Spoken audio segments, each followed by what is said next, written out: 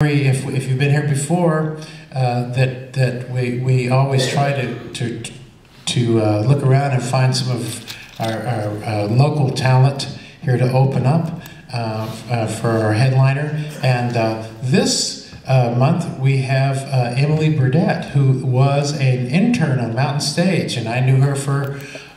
for quite a quite a long time, and never knew she was even a singer songwriter. Uh, and uh, uh, so she has a, a, an, an, album called, I mean, a CD called um, Time to Speak.